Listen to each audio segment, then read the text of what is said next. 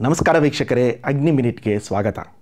ಯೋಧರನ್ನು ಆಹುತಿ ತೆಗೆದುಕೊಂಡ ಉಗ್ರಗಾಮಿ ಆದಿಲ್ ಅಹಮದ್ಗೆ ಸೇನೆಯ ಮೇಲೆ ಅಷ್ಟೊಂದು ಸಿಟ್ಟು ಹುಟ್ಟಲು ಒಂದು ಘಟನೆ ಕಾರಣವಂತೆ.